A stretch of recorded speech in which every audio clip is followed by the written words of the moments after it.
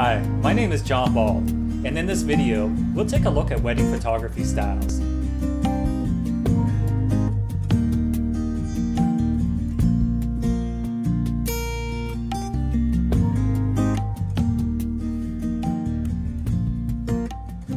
There are many wedding photography styles that are popular today.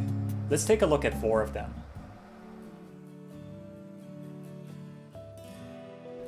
Fashion wedding photography focuses on featuring clothing and accessories in a commercial way.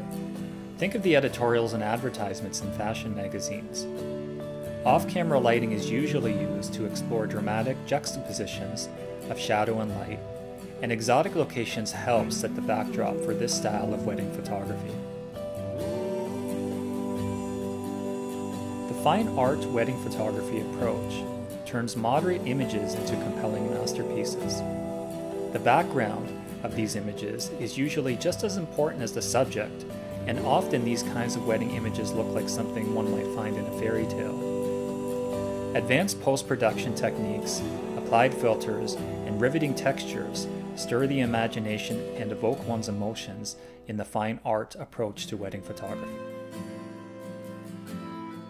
What about photojournalism? The photojournalistic approach is candid, unobtrusive, and truthful.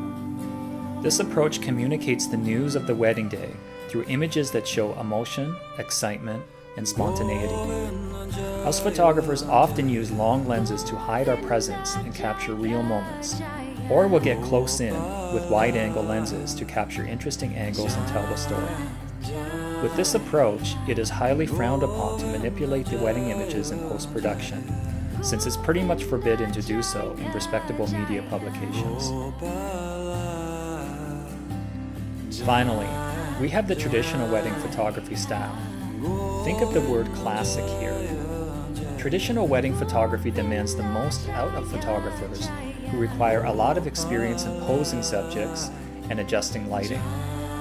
These kinds of images take time to set up, but in the end, they're well worth the wait.